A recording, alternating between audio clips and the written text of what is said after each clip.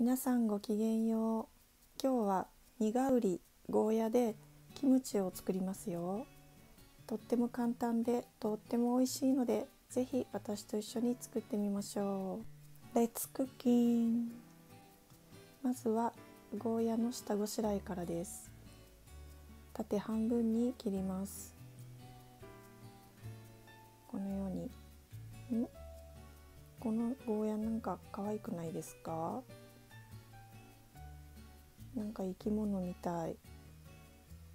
こんなこんな感じで。うん。でも縦にざっくり切ってしまいます。これはベーグルの巻き損ないみたいですね。そして種綿を取り出すのですが種綿も一緒に食べたいよって方はこの工程を省いていいと思います。私はちょっと種の硬さが苦手なので今回は取ります。でも綿はフルーティーな香りがして美味しいですよね。取っても取らなくてもどっちでも良いと思います。種が大きいものは取ったら良いのではないでしょうか、まあ、今回ね私は全部取っちゃいました。はい。ちょっと早送りしてお送りしております。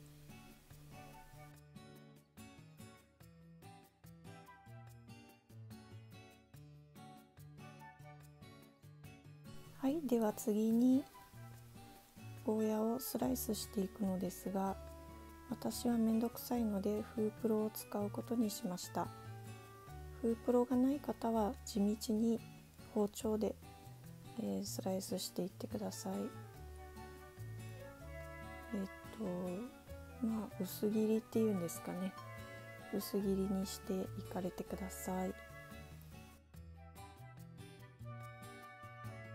ではまたここから早送りでお送りいたしますので今お作りになっている方は一時停止をしてゴーヤをスライスしていってください。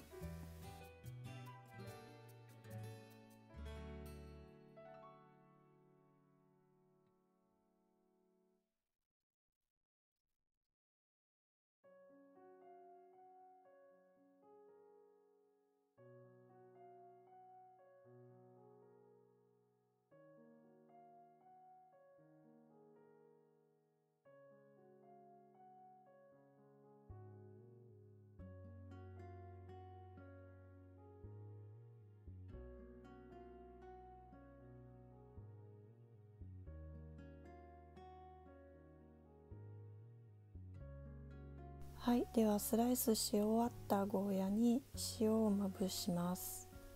お塩適量なんですが今回は一応どのぐらい入れたか重さを測ってみることにします。こちらはピンク岩塩ですね。私はいつもピンク岩塩をよく使っています。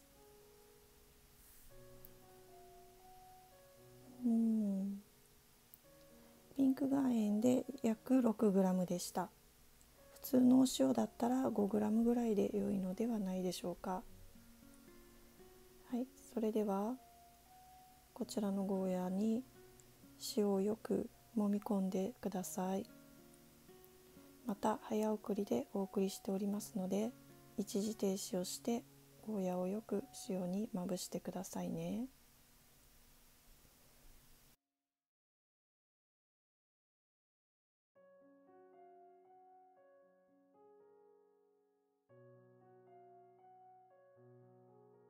そしたらこれを10分くらい置きます。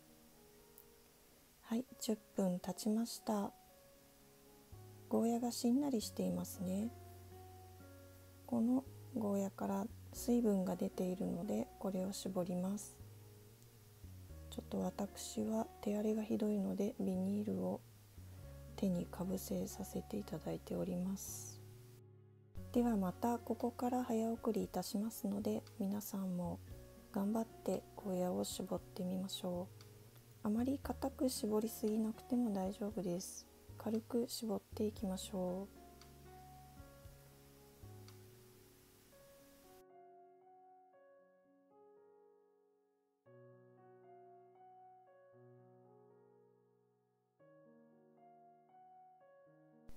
はい、それではこのゴーヤにキムチの素ヤンニョムを混ぜ込んでいきます。このヤンニョムの作り方は別の動画の自家製キムチの作り方でご紹介しています。よろしければ概要欄からチェックしてみてください。それではまた早送りいたしますのでお作りになっている方はヤンニョムとゴーヤをよく混ぜ合わせてきれいに絡めていってください。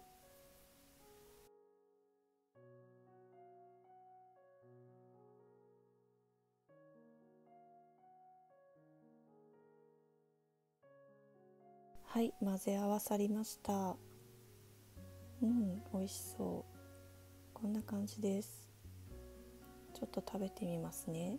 あむもぐもぐもぐもぐもぐもぐうんいい感じ。美味しくできてます。キムチの素ヤンニョムがまだ作りたてで新しい浅い場合は冷蔵庫で1週間くらい寝かされるのをおすすめしますよ。どうですか？私のヤンニョムは熟成していたのでこのままいただきますね。いただきます。うん美味しそう。もうシンプルにご飯に合わせていただいてみようと思います。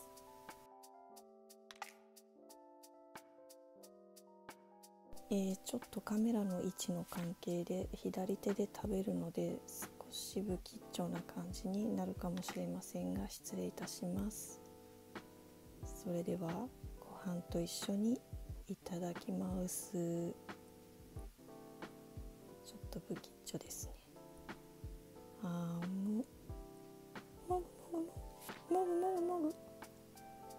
うん。やっぱりご飯と合わせるとこの辛みとご飯の甘さがうまくマッチしてとっても美味しいですね。このゴーヤキムチだけだとヤンニョムのトゲトゲしさがあるのでお酒のおつまみなんかにはとっても合うと思いますよ。うん美味しい。やばい止まらない味ですねこれ。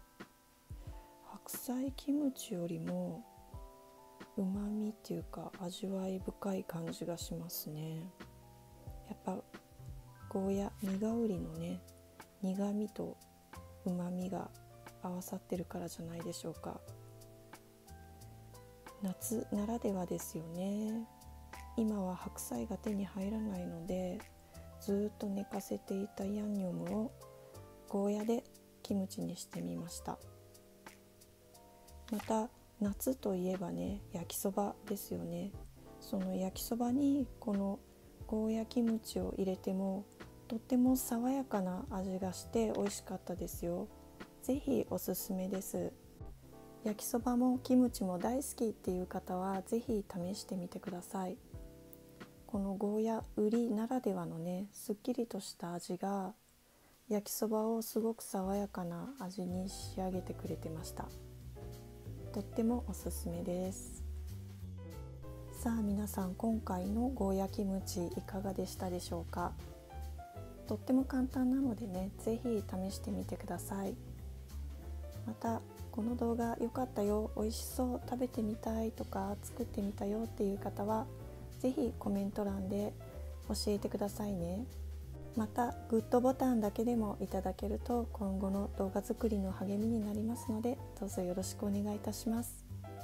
これからもアンチエイジングダイエットに適したお料理たくさんアップしていきますのでよろしければチャンネル登録ベル通知設定もしてお待ちいただけると私の動画がアップされた時にお知らせが届くので便利です。よろしければご利用ください。ここまで長らくご視聴ありがとうございました。また次の動画でお会いしましょう。それまで皆様心身お健やかにお過ごしくださいね。それではごきげんよう。